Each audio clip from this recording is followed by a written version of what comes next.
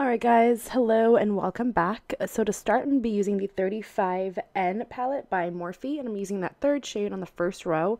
And again, I'm just using a fluffy blending brush, happens to be a Morphe one, and I'm just applying this, as always, to the lid as my transition color. Um, and just total side note, I started this video off a little bit differently than I normally do. Um, I wasn't very happy with the intro, so here we are, just jumping right on into it.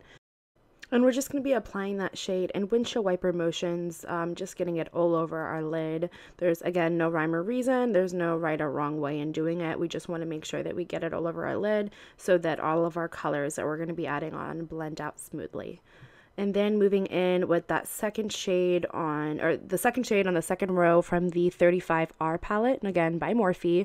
And I'm just applying this with just a, a, fluffy blender brush again but this is a little bit smaller and a little bit more precise to bring in the color into the crease. Um, this happens to be I believe a Smashbox brush but any brush will work as long as it's uh, small enough to get really into that crease this is real we're going to be building up that color to really carve out the shape of our eye and I really really want to bring and focus this color onto the outer corner of the eye. And once we build it up there, we can start bringing it in towards the inner corner of the eye. I kind of want to make it a like a oval kind of kind of thing um, and once you just build it up to the the color you like we can just go ahead and move on to the other eye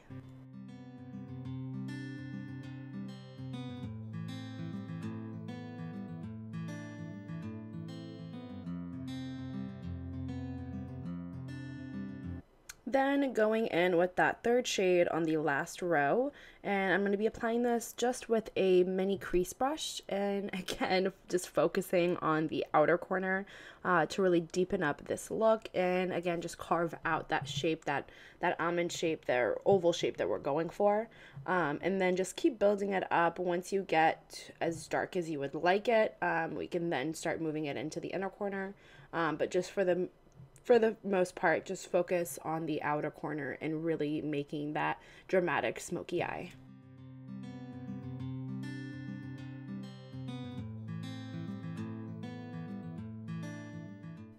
Then taking that fourth shade on the bottom row, we're going to be using the same mini crease brush that we were just using, and we're going to focus this on the outer corner. Um, pretty much the same steps that we just took. This is going to um, just help deepen up the shade that we just applied.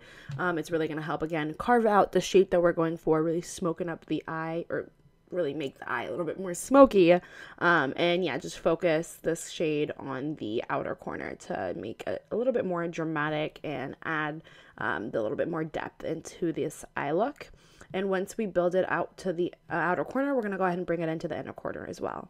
And once we've got that shade to what we want, we're then going to go in with our pop of color and we're going to be using that gold shade um, and I'm going to be applying it. I find it's best with my finger. It's up to you if you want to use a brush.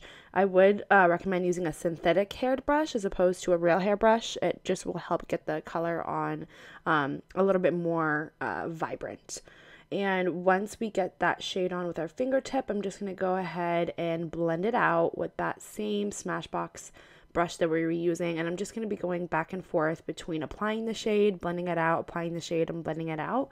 Um, once you get to the pigment that you would like, um, we can then move on. But I did this step um, or went back and forth between this step a few times to really build um, the shade that I like. And once that's done, we're then going to go in with Costa Riche by MAC. Love this eyeliner. It's really so beautiful for anyone who has brown eyes or is just trying to achieve a smoky eye. Um, it's my go-to. Um, and I'm just going to be applying this just on the waterline. And I am very messy when I apply this. Look, I don't even like use another hand or anything. So again, there's no rhyme or reason in applying this as long as you just get it on the waterline and make sure it's heavily on there. So once that's on, we're then going to blend out or smoke out our waterline and that liner we just applied. And first I was just using whatever product was on the brush, but then I started going in with that brown shade that we had first started using when we first started. And we're just going to use that and just really smoke out our waterline. I think this step is crucial. It's key to a true smoky eye, especially when it comes with, with to browns. I just feel like the look is just not complete. So then we're going to go ahead and do our brow highlight and I'm using Champagne Pop by uh, Becca Cosmetics, my favorite of all time. And I'm just applying this with a flat top brush. It's a Lancome brush, and I'm just applying this pretty much just to the high points of my eyebrows, just to really make it pop and just bring a little bit more attention to them.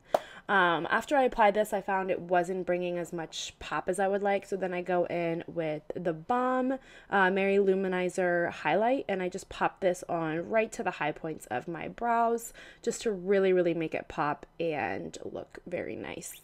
So then we're going to just go ahead and pop a little bit of that gold onto our inner corner and then I put a little bit on to the waterline, just a little bit, just so that it really blends everything together and everything just ties really well.